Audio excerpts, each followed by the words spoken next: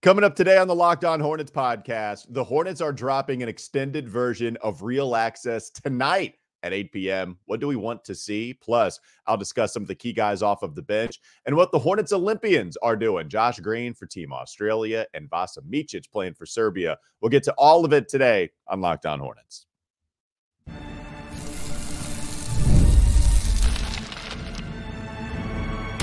You are Locked On Hornets your daily Charlotte Hornets podcast.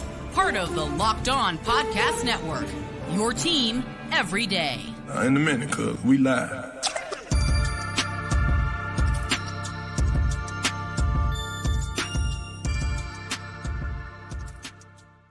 It's Locked On Hornets, part of the Locked On Podcast Network. It's your team every day. Thanks for making us your first listen. We're free. We're available anywhere you get your pods, and that includes YouTube. Today's episode is brought to you by Game Time. Game Time? Download the Game Time app, create an account, use code Locked On NBA for $20 off your first purchase. Terms apply. Yeah, I'm going solo again. It has been a rough three weeks. Some of it good, some of it bad for Doug Branson of everyhornetsboxscore.com. Maybe you can text him about it on the subtext information also provided on his Substack. Yeah, the dude's got like three, four vacations lined up. All right, I guess that's an exaggeration, but it's really like two vacations. And then in the middle, this week, he was supposed to hop on, had some scheduling issues. So then he goes solo. We finally team up for one show, and now he's sick. Dude is sniffling again. I don't know what it is. Maybe he caught something on his first vacation. But the good news is he'll have another vacation to get over it. So, Doug, just, I don't know what's going on the last three weeks, but you can hound him for it. Doug Branson, LOH, also on Twitter. I'm Walker Mehl. You can listen to me on WFNZ every weekday from 12 to 3, and also, of course, here on Locked On Hornets every single day as well. Just a heads up like for those that are the diehards that do listen every single day, the true sickos, if you will. I have to imagine we're going to be going to three days a week here soon. It might be next week. If not next week, I would imagine for sure it would be the week after that. And then it'll probably be like six weeks of us going just three days. And then we'll be back at it probably like I don't know, middle September, late September. That's usually how this thing goes. So just a heads up for anybody that might be tuning in, not seeing an episode. Yeah, maybe this go around, it's been because Doug's been on vacation and he's been sick, but it will be because the content just ain't contenting like it used to. And then that will pick back up in the middle of September, maybe even late September. I do want to talk about this though. The Hornets revealed yesterday that an extended version of Reel Access will be dropping tonight at 8 p.m. Kevin Stewart, a producer for the Hornets as well, he said that as well. Thursday, 8 p.m.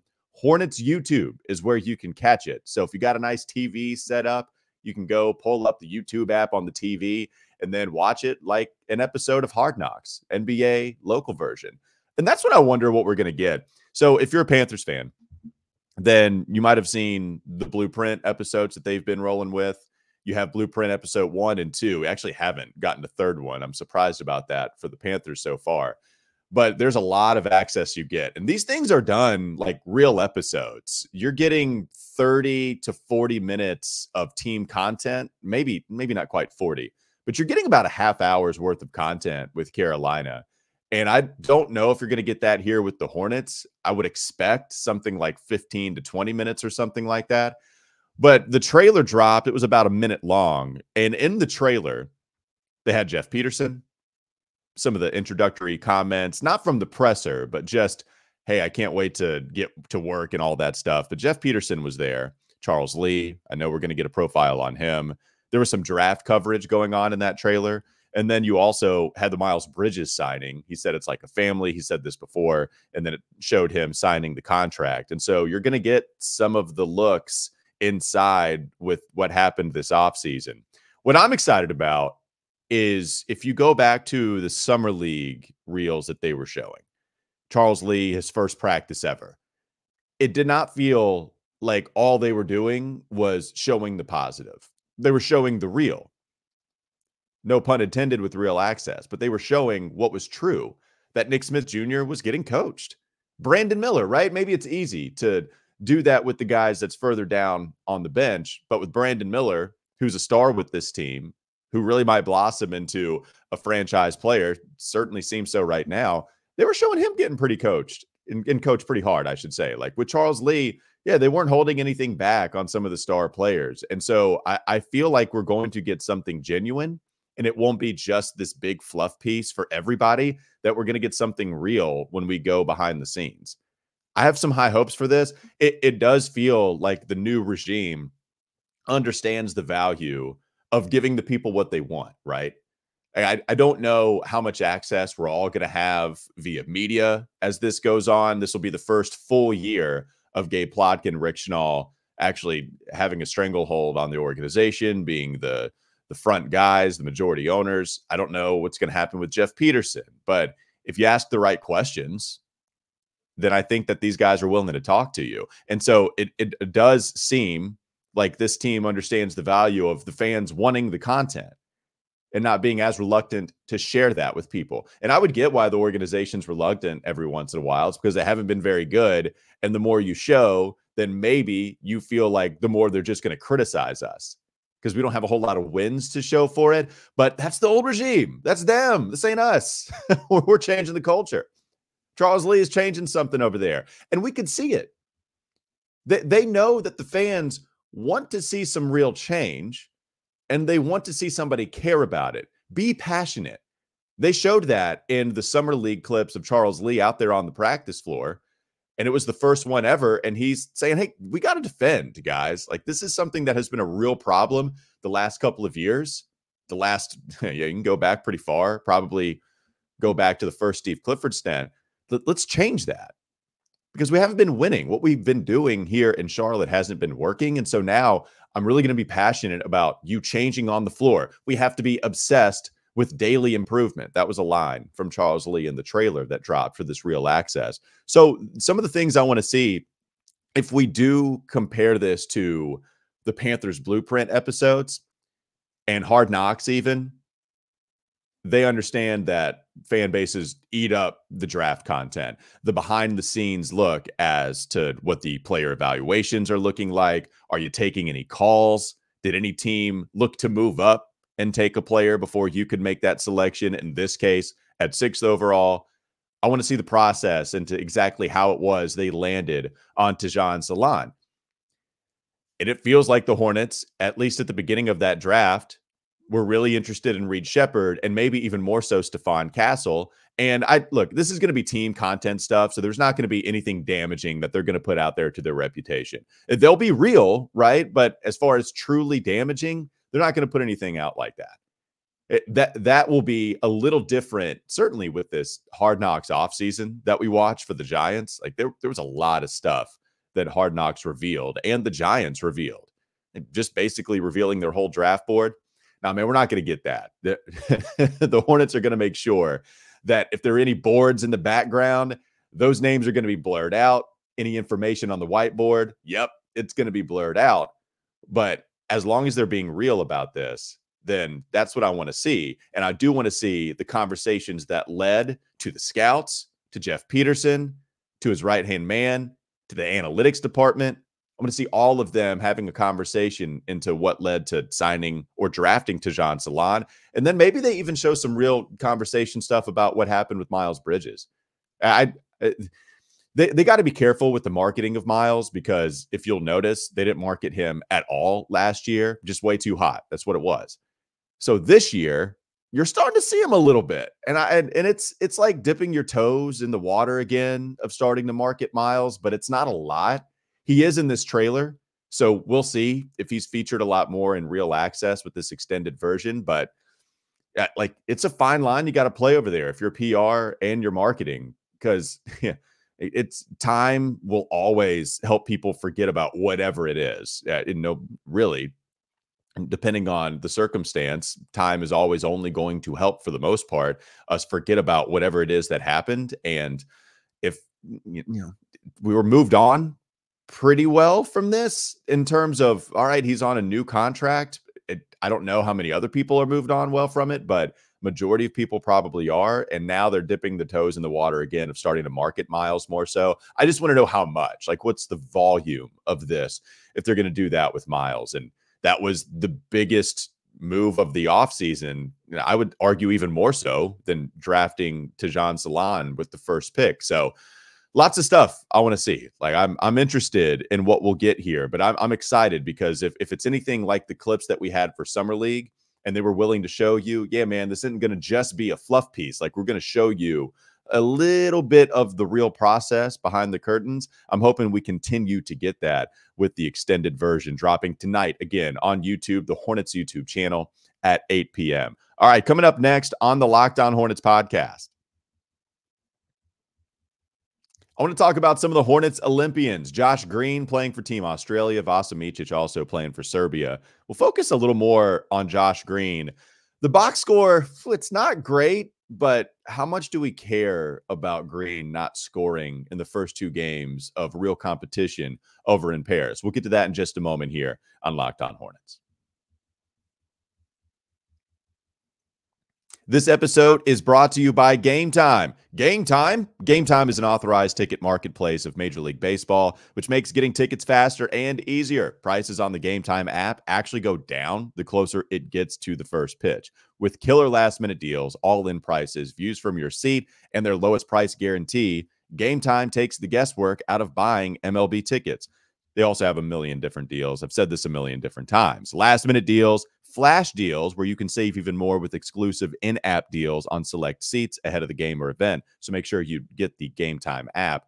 Zone deals, all in prices, seat views, lowest price guarantee, game time ticket coverage. Lots of different benefits that you get with game time. Take the guesswork out of buying MLB tickets with game time. Download the game time app create an account, use code LOCKEDONNBA for $20 off your first purchase. Terms apply. Again, create an account, redeem code L O C K E D O N N B A, locked on NBA for $20 off. Download game time today. Last minute tickets, lowest price guaranteed. More locked on Hornets ahead. We'll talk a little bit more about Josh Green. So, if you have looked at the box score for Team Australia, just trying to keep up with the newest member of the Hornets, one of the newest members, I should say, after Jeff Peterson and company decided to go after now what is the former Dallas Maverick. The box score hasn't been kind. In fact, if you look at the two games that the uh, Aussies have played, Green is 0 of 5 from the field.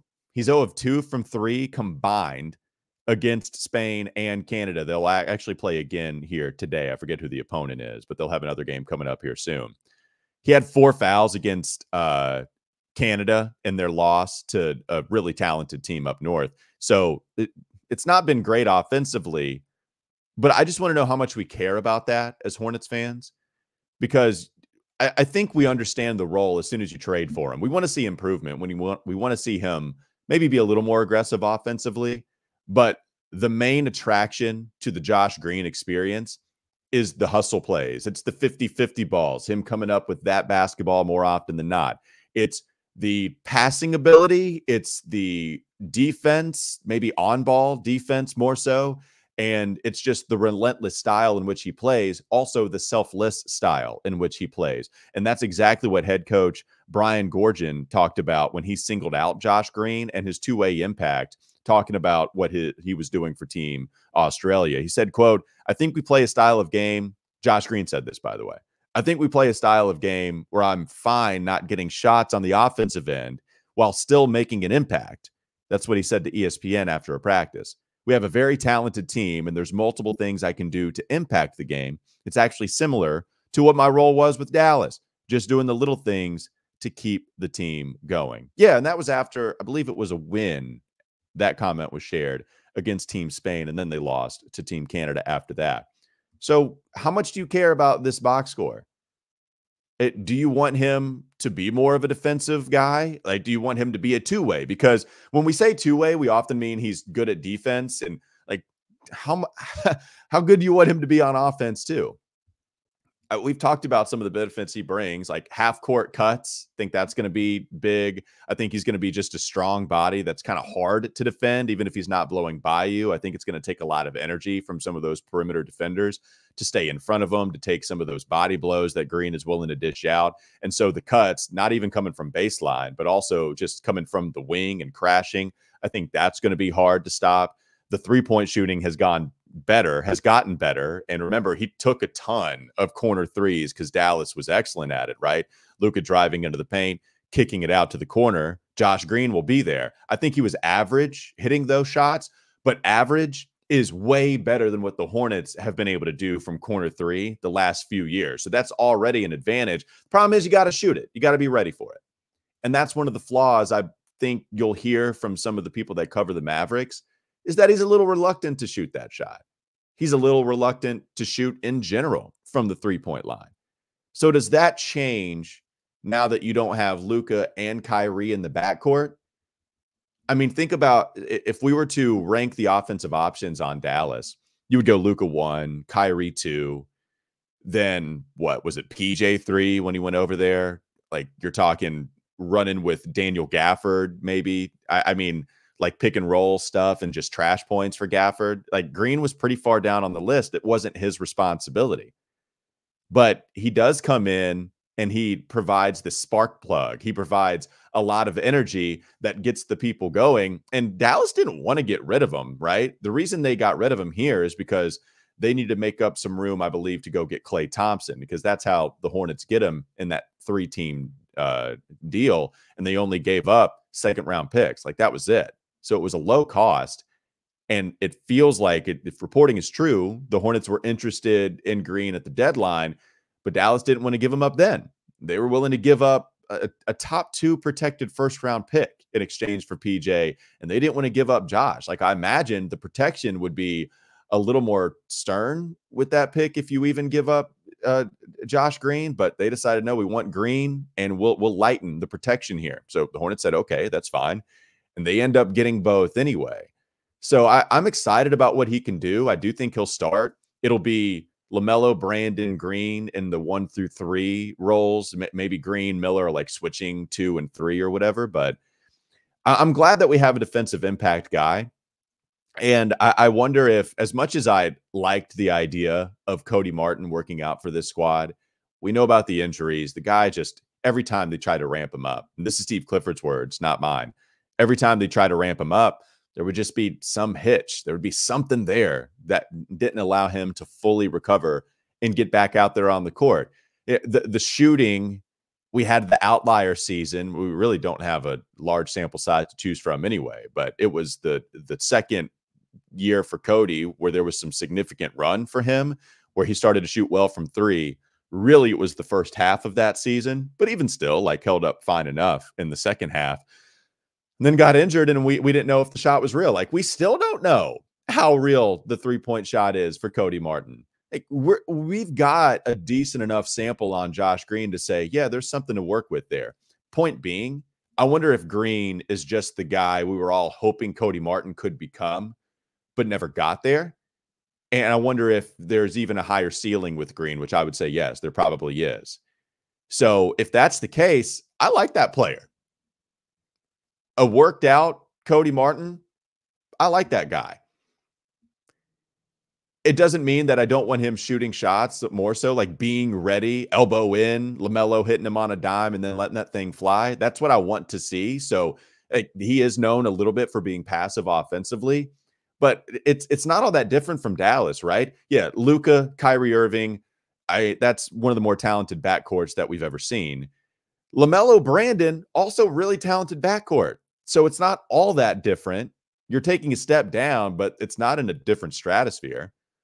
So, okay, if we're trying to figure out where he is on the offensive hierarchy, it's LaMelo, Brandon, Miles is ahead of him. I mean, I don't know where Josh Green is. Like, I, I wonder also if Mark is going to be somebody that's involved in some two man game stuff more so than what you want to see from Josh Green. Like, he's not an ISO guy which is totally fine. I don't want him to be, but I, yeah, just less passivity offensively and bringing all the motor that you brought to Dallas. And it seems like he's bringing a team Australia. Like to see more than zero points scored in two combined games, but like I'm just eh, I also had four personal fouls in that Canada loss, and so like the aggressiveness sometimes it's a, it it feels like not a double-edged sword, but sometimes it's just glass half full, half empty approach. What's going to happen here? Are we going to get the aggressiveness and get a couple steals and make it hard for players to play against you, or, or are you going to foul in times where you don't need it and not be able to stay into the game because you're in some foul trouble? Like eh, that, there'll be some problems there. Like I feel like we'll get more points from Josh but we're seeing a pretty similar player as to what I expect here in Charlotte once the Olympics are done and then we start to get into the 2024 regular season. Let's talk about another Hornets Olympian coming up next on the Locked On Hornets podcast. I'm going to get to Vasa Micic and some of these guys that might play a critical role off of the bench. That's still to come here on Locked On Hornets. Before that, I want to tell you that this episode is brought to you by FanDuel. I love sports. I love them so much. I never really want them to stop. But as the playoffs wind down, we get fewer games and the sports aren't sporting like I want them to. But FanDuel lets me keep the sports going whenever I want. And all I have to do is open up the app, dream up bets anytime I'm in the mood. And this summer, FanDuel is hooking up all customers with a boost or a bonus daily. That's right. There's something for everyone every day all summer long. So head over to fanduel.com, start making the most out of your summer. There's still time. It's only August 1st. August counts as summer. So you still got some time to go to FanDuel and make the most of your summer. FanDuel, the official sports betting partner of Major League Baseball. More locked on Hornets still to come. Josh Green going to be a key part of this team. I don't think off of the bench. The other guy in the Olympics, I do think will come off of the bench if he's on the team at all. That's Vasa Micic, who has a better box score in the two games over uh, in Paris than what Josh Green has. So Micic scored 11 points, went three of 10, so not great against Team USA. Had two assists, a couple of threes that he hit in that game. I think he was two of seven from distance against the US. Had a better game against Puerto Rico though they trampled over Puerto Rico. It, Vasa helped Serbia by scoring 13 points, six of 10 shooting, seven assists too. And he's coming off of the bench over there with Serbia, but he's logging like 20 minutes a game. So he's still a, a key part of what they're doing. I like Micic. I thought he was good last year. I, it was part of the reason that we were celebrating what the Hornets did, the, did at the deadline. You take a chance on Tre Mann, who just did not have a shot to play over with OKC. They were too talented. They were trying to create a role for him, but there just wasn't one. So the Hornets are like, yeah, we see the talent. Bring him over. Tre Mann shows you something, as does Micic. I've gone to this a few times, but the last month of the season, the first two weeks of April, Micic had a real shot to win rookie of the month. And then his own teammate took it from him, where it was pretty easy to decide. The last half of April, like, yeah, okay, this is Brandon Miller's time now. He, he's going to go three straight months winning Eastern Conference rookie of the month. But Micic is a good player. I just feel like he'll he'll be a key guy off the bench as long as he's here. But to me, he makes the most sense as a guy that you can trade, still have something left over. So it's not going to hurt you as much as if you might trade somebody else. And it would be also the higher likelihood of another team wanting somebody like Micic and more so a contender, right? Because if you're contending, those are the teams that are desperate for talent. Even if the margins aren't huge, like any little advantage that you can get on your squad, you're going to try to go with that. And if they can squeeze some of these contenders for an extra pick, like a second rounder, even, I'm not expecting a lottery protected first in exchange for Micic, but you could probably get something more for a con- from a contender than you could for some of these other squads. So Micic not sweating that loss as much, even though it would hurt a little bit. I don't even know how much the Hornets want to win at all cost this year. Like we could see a flip in motive at the deadline this upcoming season. Of course, we got to figure out what the health is going to be like because that's been a question the last few years. But it makes the most sense that Micic won't be on the roster and is the best trade bait slash would get the best in return from some of these teams that might need some ball handling going into the postseason. somebody that can get to the rim pretty well, that can create for others, even if he's not a great three point shooter, there still are, are plenty of benefits to his game. And the Hornets could get rid of him. And it's not like I'm sweating it, right? Like you as a Hornets fan, you probably like Micic, but you're cool with him leaving because you understand that it's not like he is a huge part of the future. Where Tre Mann, yeah, like I could see him being at least have a shot of being somebody that's key off of the bench going forward. I mean, with the the backcourt is self-explanatory. Josh Green, you just traded for him, so I imagine he's going to play a big role for you. They are still hitching their wagon to Mark Williams. Nope, we're not thinking about drafting a center. We're not thinking about drafting Donovan Clingan. Mark Williams is healthy enough. We're going with him. He's our guy. Okay, we'll see how it works out. But those are the players that you think of as the future. And this is why, like, even if Micic is playing pretty well with Serbia, like, is a key part of a team that has some NBA talent, other guards. Uh, I I I like what he did last year, but he makes the most sense to trade. So uh, may, maybe he's even one of these guys that enhances his trade value in the first half of the season before you decide to let him go. Eh, there, there are plenty of options that you could roll with with a couple of the guards, but I, I really think, especially with 30 year old Vasa Micic. That'll do it for Locked On Hornets. Thanks for making us your first listen. We're free and available anywhere you get your pods, and that includes YouTube. Even though Doug is sick, make sure you help him out still by going to everyhornetsboxscore.com. There you can also find his subtext information, and you can follow him on Twitter at Doug Branson LOH. I'm Walker Mehl. You can listen to me on WFNZ every weekday on Wes and Walker from 12 to 3 p.m. Have a great rest of your day. We'll be back with you tomorrow.